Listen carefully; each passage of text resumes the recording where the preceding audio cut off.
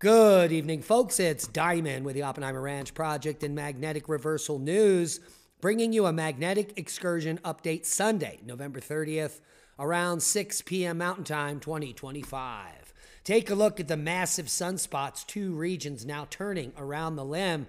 And we also have a massive coronal hole, which will be facing Earth in just two days. A lot to talk about, including flight cancellations and more snow. Keep calm. It's boom time. How much snow fell in Minnesota during Saturday's uh, storm? Well, quite a bit.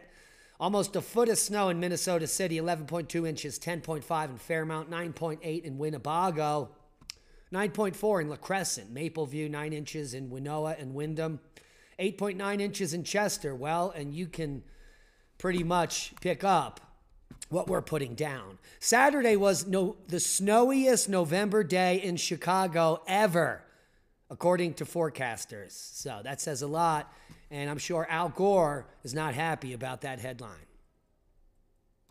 A quick look over at FlightAware tells the story. 24,000 plus delays today and over a thousand cancellations Total cancellations in the US 701. So, a bad day to be flying home. Unfortunately, one of the busiest travel days of the year.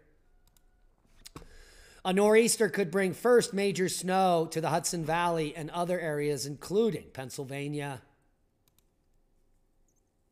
And there it is, setting up right now over Kansas, that nor'easter. As the storm we saw yesterday is moving off the coast there is the next storm that is coming towards us. And now the full forecast.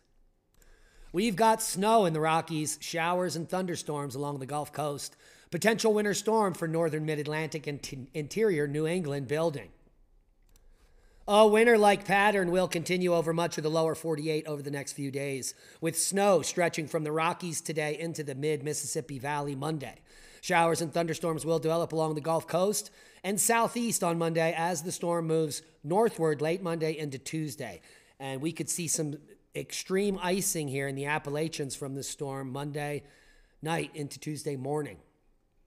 With winter weather possible from the central Appalachians to interior New England. And let's walk that storm through for you.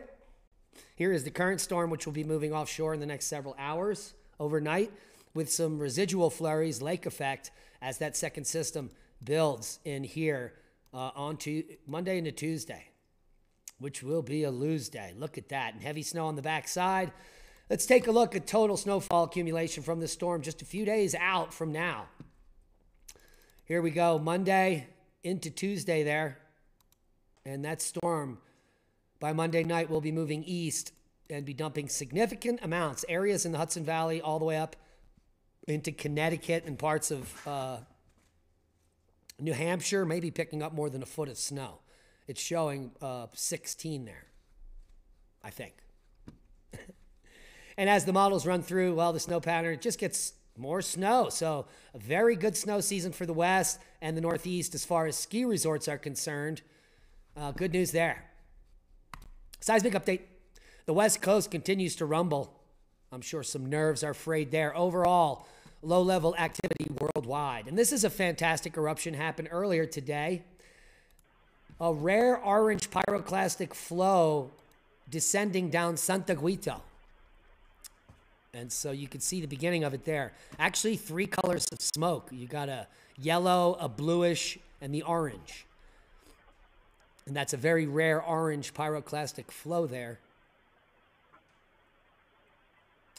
All the links will be below. Worldwide volcano news for the day. November 30th, we've got Purace to 18,000, Sangay to 20,000, Fuego to 14,000, Santiaguito to 15,000, Manam, 8,000 foot blast there, 16,000 foot blast at Shiveluch.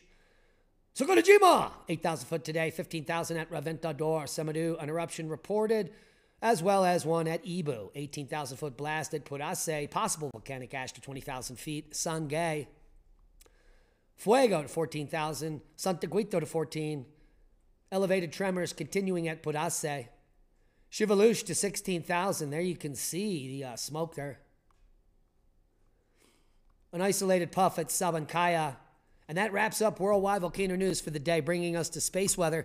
And our main concern is this coronal hole, which will be facing us December 2nd, and these sunspots, these two groups that are now turning in. We have a 20% chance of X flaring at any moment, but it, not a lot of flaring is going on currently. That's good news there.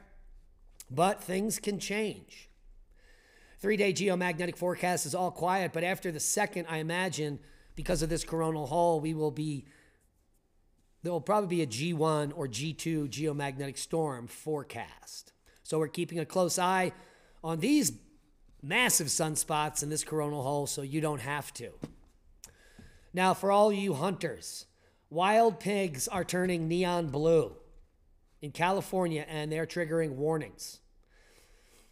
Game hunters have found startlingly neon blue flesh inside of wild pigs in California, triggering advisories on potential contamination. The contamination is from rat poison. And rat poison containing the chemical compound diphacinone. They're often sold dyed blue for identification. The compound's use has been highly restricted in California, but apparently some of it has gotten through the cracks. And there we can see the rodenticide bait here with the blue dye. Uh, so don't eat the blue meat. And that includes any animal you find, including deer or turkeys or whatever you're hunting. It could be contaminated. And that's a boom to knowledge. Hit the thumbs up, subscribe to the channel. I hope you all had a wonderful Thanksgiving holiday and your flights haven't been canceled. We love each and every one of you. Be safe. And that is a boom.